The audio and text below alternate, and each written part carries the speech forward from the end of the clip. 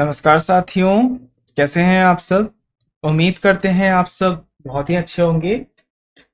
तो सबको सबसे पहले हैप्पी दुर्गा पूजा इस दुर्गा पूजा के शुभ अवसर पर माँ दुर्गा आपके हर लक्ष्य को जो भी आप पाना चाहते हो लाइफ में, उसको पूर्ण करे और आपकी सारी जो आपदाएँ हैं, उनको हर ले। तो इसी शुभकामनाएँ के साथ आज जो है हम लोग टॉपिक को डिस्कस करने जा रहे हैं। अभी तीन दिन से क्लासेस नहीं हुई थी। सैटरडे संडे को इस बार मैंने, ऐसा पहली बार हुआ कि सैटरडे संडे को मैंने क्लास नहीं लिया, क्योंकि मन नहीं था और एक्चुअली अब मेरा घर के बगल में स्पीकर्स वगैरह चालू हो जाएँगे और चालू हैं ही आज, दिन भर चालू रहें। तो अभी वो स्पीकर बंद है तो मैं इसलिए क्लास रिकॉर्ड कर पा रहा हूँ। आशा करता हूँ आप इन सब चीज़ों के लिए थोड़ा सा पूजा के टाइम में मैनेज कर लीजिएगा। हो सकता है क्लासेस कभी रात को आए, कभी सुबह आ जाए, कभी दिन के टाइम में क्लास आ जाए। तो मुझे अपने कंडीशन को, अपने इन्वायरमेंट को देख कर काम करना पड़ेगा। ठीक है तो मैंने कहा इन्वायरमेंट को देख कर करना काम करना पड़ेगा। तो उसी प्रकार साथियों, आज जो टॉपिक डिस्कस करने जा रहा हूँ, वो इन्वायरमेंट के ऊपर में ही है। तो हुआ क्या साथियों, तीन दिन पुरानी न्यूज़ है। तीन दिन पहले एनसीसी और यूएनडीपी के बीच में एक मेमोरेंडम ऑफ़ अंडरस्टैंडिंग साइन हुई है। ये किसके ऊपर में हुई है? ये हुई है आपका प्लास्टिक पॉल्यूशन के ऊपर में। तो प्लास्टिक पॉल्यूशन एक बहुत बड़ा एजेंडा है नया एजेंडा नहीं पुराना एजेंडा है। ये सबके लिए परेशानी बन चुका है चाहे वो कोई कंट्री हो या फिर कोई आपका देश हो आ, कंट्री हो सॉरी कोई कॉन्टिनेंट हो ये हर किसी की परेशानी बन चुकी है। तो इस पे लगातार बातें चलते रहती है। तो भारत में यूएनडीपी ने एनसीसी के साथ मिलकर एक समझौता किया, जिसका नाम क्या है? प्लास्टिक प्रदूषण। तो आइए चर्चा करते हैं आपके साथ, क्या निकल के प्रमुख बातें आई हैं, क्या स्ट्रेटेजी अपनाने वाले हैं एनसीसी वाले, और क्या है एनसीसी सब कुछ डिस्कस करूँगा इसके अंदर में। तो उससे पहले एक बार प्लीज़ वीडियो को लाइक चैनल को सब्सक्राइब ज़रूर करें और साथ ही साथ शेयर करें अपने सारे दोस्तों के साथ। फिर वह चाहे तैयारी कर रहे हो यूपीएससी की state PCS SSC banking railway इत्यादि किसी भी एग्ज़ाम की, जहाँ पे करंट अफेयर वगैरह आता है तो उनका स्वागत है। तो जीएस पेपर थ्री से इंपॉर्टेंट रहेगा इन्वायरमेंटल पॉल्यूशन एंड डिग्रेडेशन तो द हिंदू के अंदर में आया था साथियों, तेईस सितंबर की न्यूज़ है कि एनसीसी ने और यूएनडीपी ने साइन किया है मेमोरेंडम ऑफ़ अंडरस्टैंडिंग ताकि वो टैकल कर सके प्लास्टिक पॉल्यूशन को। तो मैंने बता दिया एनसीसी यानी नेशनल कैडेट कॉप्स और साथ ही साथ यूएनडीपी यहाँ पे फुल फॉर्म क्या है यूनाइटेड नेशन इन्वायरमेंटल प्रोग्रामिंग इनके द्वारा साइन किया गया है मेमोरेंडम ऑफ़ अंडरस्टैंडिंग एमओयू किसके ऊपर में प्लास्टिक पॉल्यूशन के ऊपर में। तो क्या प्रमुख बातें निकल के आई है इस मेमोरेंडम ऑफ़ अंडरस्टैंडिंग अंडरस्टैंडिंग में? तो पहला पॉइंट साथियों, क्या निकल के आ रहा है? क्लीन वाटर के ऊपर में। जो इनका पहला गोल है, वो है क्लीन वाटर ये चाहते हैं कि ये इनका यूनिवर्सल गोल है कि जो स्वच्छ पानी होता है, वो हर जगह पहुँचे। तो इनका दो प्रोग्राम चल रहा है। एक तो आपका एनसीसी का जो प्रोग्राम चल रहा है, उसका नाम है पुनीत सागर अभियान और जो यूएनडीपी का प्रोग्राम चल रहा है, इसका नाम है Tide Turners plastic challenge programme ये यूएनडीपी के द्वारा चलाया जा रहा है। मैं माउस से लिख रहा हूँ तो एडजस्ट कर लेना आप और ये एनसीसी के द्वारा चलाया जा रहा है। ठीक है? तो इन लोगों ने एक तरह से हाथ मिलाया है कि आइए, जब आप और हम एक ही मुद्दे के ऊपर में काम कर रहे हैं तो क्यों ना एक साथ काम किया जाए? तो इन इनका एम ही यही है कि हम यहाँ पे क्या करें? सिनर्जीज बढ़ाएँ और एक साथ कोलैब करें किसके ऊपर में? ताकि किसके ऊपर में? क्लीन वाटर बॉडीज के ऊपर में। और इसमें बेसिकली यूथ शामिल होंगे। हालाँकि ये लाइन लिखने का को कोई मतलब नहीं बनता है क्योंकि एनसीसी में यूथ ही शामिल होते हैं तो फिर भी, लेकिन अखबार के द्वारा ये लिख दिया गया है। और जो पी रिलीज़ हुई, उसमें भी ये बात मेंशन ही था। तो इसीलिए ये लाइन लिखने का यहाँ यूथ वर्ड का कोई मतलब नहीं है। यहाँ पे एनसीसी का मतलब यूथ ही ज़्यादातर लोग समझते हैं। तो ऑब्जेक्टिव्स क्या है? ऑब्जेक्टिव है कि बिल्ड करना कैपेसिटी अवेयरनेस इन्वायरमेंट के ऊपर में, ताकि कोई भी इंफॉर्मेशन हम लोग शेयरिंग कर सकें और ट्रेनिंग दे सके। जैसे मान के चलिए, अगर हम अभी से बच्चों को, युवाओं को बताएँगे कि जो आपका प्लेनेट है, जो आपका मदर अर्थ है, वो कितना ज़्यादा इंपॉर्टेंट है हमारे लाइफ के लिए। उसकी इम्पोर्टेंस को दे, दे, देखना उस उसमें डिसिप्लिन वे में रहना। इसलिए यहाँ पे क्या किया गया है? एनसीसी के साथ हाथ मिलाया गया है ताकि हम एक तरह का अवेयरनेस प्रोग्राम चला सकें। और एक तरह का इंफॉर्मेशन दे सकें कि प्लास्टिक जो है बहुत ही इंजुरियस है। एक मिनट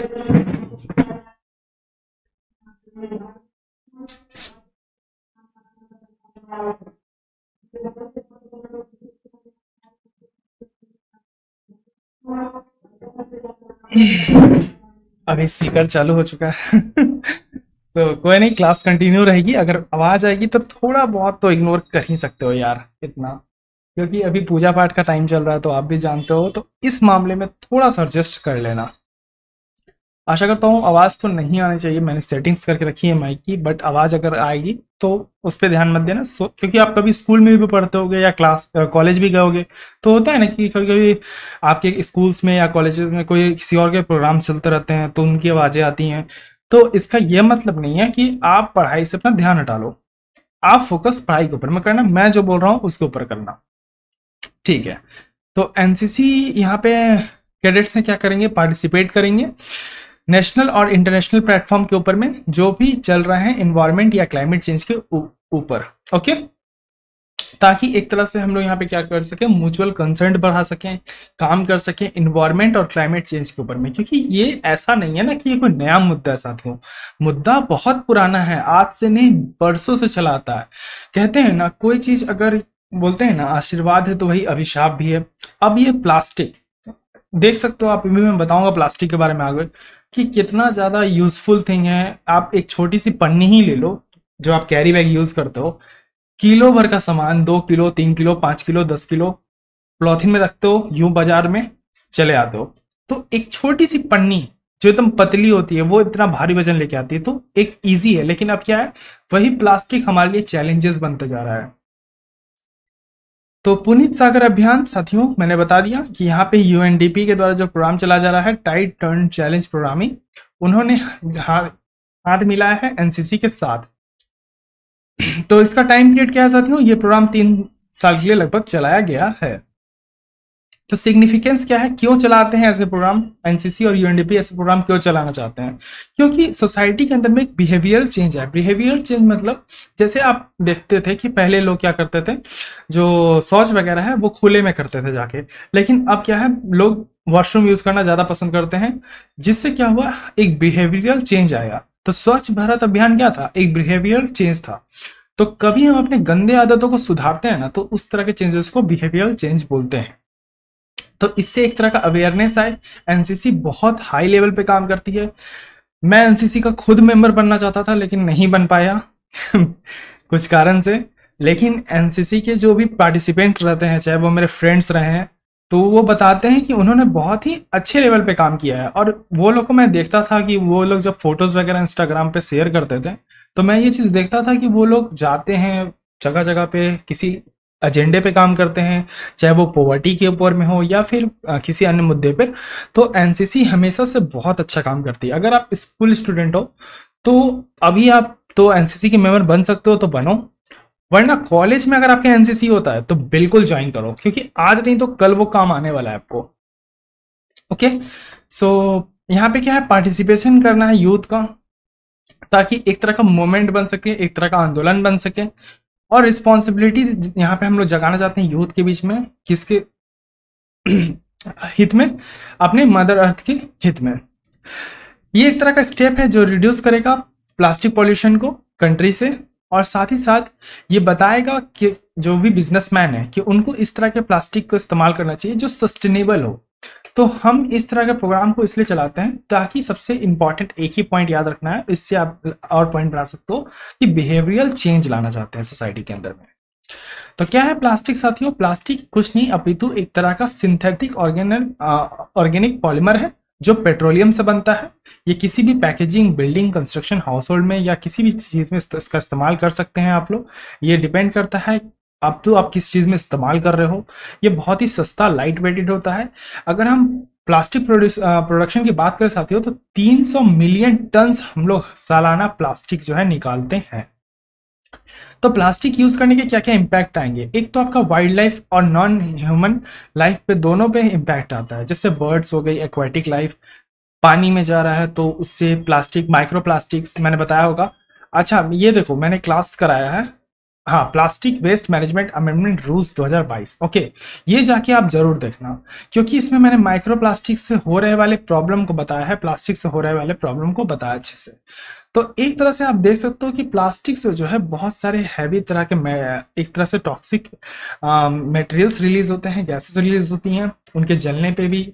और जो भी अगर उनको कंज्यूम करता है, जैसे आप गाय वगैरह को भी देखते होंगे कि वो प्लास्टिक रोड के किनारे अगर खाना खाती है तो प्लॉथिन के अंदर खाना रहता है तो वो प्लॉथिन के साथ नहीं खा जाती है। तो उससे क्या होता है कि उनके पेट में वो प्लॉथिन जाने की वजह से प्रॉब्लम होता है।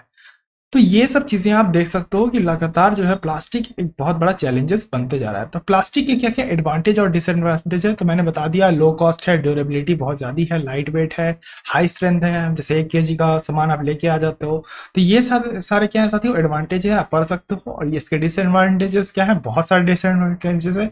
जैसे केमिकल रिस्क हो रहा है इन्वायरमेंटल डैमेज हो रहा है threat of life not just wildlife ऐसा नहीं है कि सिर्फ़ पशुओं को नुकसान हो रहा है, हमें भी नुकसान हो रहा है पॉल्यूशन हो रहा है। तमाम तरह के साथियों यहाँ पे नुकसान भी देखने को मिलते हैं। इसलिए मैंने ये वर्ड यूज़ किया कि कोई चीज़ वरदान वरदान है तो वो अभिशाप भी है। तो प्रॉब्लम और सोल्यूशन क्या है साथियों? प्रॉब्लम है कि हम लोग डिस्पोजल नहीं कर पा रहे हैं लैंड फिलिंग नहीं है बर्निंग है, उसके बाद जो डिस्पोजल के इसके तरीके हैं, चाहे तो ये मिट्टी में जल्दी दबता नहीं है, गलता नहीं है, इसके जलाने पर प्रदूषण होता है तो चाहे तो हम इसे एक्सपोर्ट करें इंटरनेशनल ट्रेड के लिए, या फिर ऐसे प्लास्टिक बनाए जो रिसाइकल हो री यूज़ हो, या फिर रीप्रोसेसिंग हो सके। तो ये वाला एक्ट जाके ज़रूर पढ़ना है। बहुत इंपॉर्टेंट एक्ट है। इस पर यूपीएससी क्वेश्चन पूछता है और एक बार पूछ चुका है। तो प्लीज़ जाके इसे ज़रूर पढ़ना। अगर हम कंट्रीज़ वाइज बात करें साथियों तो आप देख सकते हो कि इंडिया जो है बहुत ही कम प्रोड्यूस कर रहा है प्लास्टिक लेकिन बोलता है ना कि अभी देर नहीं हुई है भाई। ऐसा नहीं है कि हमें ऑस्ट्रेलिया जितना प्रोड्यूस करना है या फिर यूएसए जितना प्रोड्यूस करना है। हम अभी से शुरू करेंगे। हम अगर चार किलो यहाँ पे प्रोड्यूस भी कर रहे हैं तो यहाँ पे चार किलो भी हम कम करेंगे। ऐसा नहीं है साथियों कि बहुत जल्दी कि हाँ भाई चलो प्रोड्यूस कर देते हैं। तो एनसीसी क्या है साथियों? माइक फिर से चालू हो गई है। एनसीसी आप ये वाला पढ़ लेना। पॉज करके मुझे बंद करनी पड़ेगी क्लासेस शायद नहीं चलेगी। अच्छा अभी चल रही। तो एनसीसी जो है एनसीसी मैंने बता दिया। तो ऐसा नहीं है कि साथियों, हमें अभी से काम करना है, हमें आगे भी इसके ऊपर में काम करना है। और अगर हम अभी से शुरू करेंगे तो चीज़ें क्या आएँगी? अंतर में आएँगी। तो एनसीसी क्या है साथियों? एनसीसी अपुतु आपका कुछ नहीं। एक तरह का यूथ विंग है, जो इंडियन आर्म फोर्सेस के अंदर में आता है। इनका काम होता है कि यूथ को डिसिप्लिन बनाना और उनको क्या बनाना? पेट्रियोटिक बनाना सिटीजन्स अपने देश के प्रति। इसका हेडक्वार्टर कहाँ है? न्यू दिल्ली के अंदर में है ओके बेसिकली ये स्कूल स्टूडेंट और कॉलेज के लिए एक तरह का वॉलेंट्री बेसिस पे इसकी यहाँ पे एडमिशन ली जाती है। तो एक तरह का लार्जेस्ट यूनिफॉर्म यूथ ऑर्गेनाइजेशन है साथियों पूरे वर्ल्ड में। इससे बड़ा यूथ ऑर्गेनाइजेशन आपको कहीं नहीं मिलेगा। और कहीं ना कहीं अगर यूथ अच्छी चीज़ों में काम करेंगे तो हमें चीज़ें अंतर में आएँगी। जैसे आप देख सकते हो यहाँ पे इनका काम है प्लास्टिक कलेक्ट करना या अदर वेस्ट मटेरियल कलेक्ट करना और उनको सही प्रोसेस करना ताकि प्रोसेस नहीं करना, एक तरह से लोगों को जागरूक करना कि आप प्लास्टिक को कहाँ फेंको, नहीं फेंको और भी तमाम तरह की बातें बताना। तो आप पढ़ लेना साथियों, ये सब मैंने बता दिया। एक बार फिर से आप देख लेना एनसीसी वाला। तो कैसे लगी क्लास, ज़रूर बताना। और शेयर भी ज़रूर करना सब्सक्राइब भी करना। बहुत सारी स्पेशल क्लासेस चल रही हैं जाकर देखिएगा। तब तक ये रखिए अपना ध्यान। मुझे दिया गया, धन्यवाद। जय हिंद, जय भारत।